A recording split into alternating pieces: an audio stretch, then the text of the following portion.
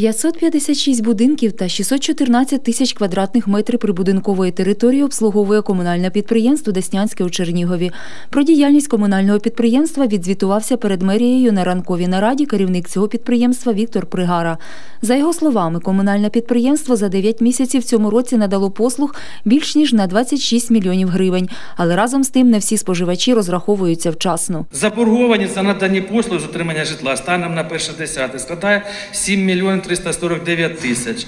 Населення це 6 мільйонів 729 тисяч, субсидії 620 тисяч. Віктор Пригара детально пояснив складові тарифу, тобто які конкретно послуги підприємство надає. Наприклад, 19,5% йде на прибирання прибудинкової території, а понад 25% на поточний ремонт житлового фонду.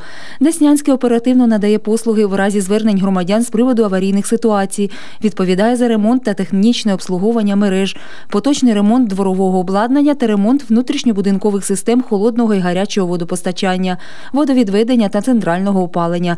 Підприємство вже готове до зими. Вся техніка, яка використовується зимовий період, готова до використання. А це 6 одиниць тракторної техніки, піскорозкидувач на базі зила, піскорозкидувач е, установка. Сама вся вона готова до е, експлуатації в зимовий період. За 9 місяців підприємство отримало більше 2 мільйонів гривень прибутку. Це добре, зважаючи на те, що в минулому році воно мало збитки. Але разом з тим є проблеми.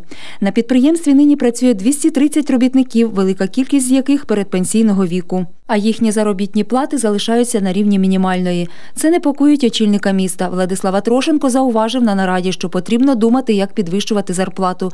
Вже зараз планувати відповідний бюджет на наступний рік. Зробіть порівняння знову з іншими містами, отакі, отаку діаграму.